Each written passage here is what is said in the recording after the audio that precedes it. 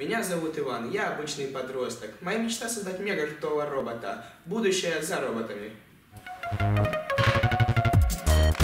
Однажды в мастерской мне пришла идея создать что-то интересное.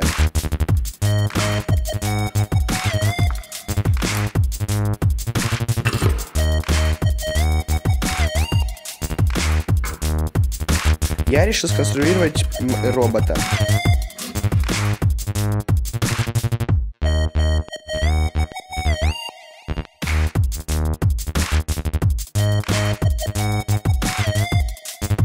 Началась тяжелая работа. Месяц спустя я закончил своего первого робота.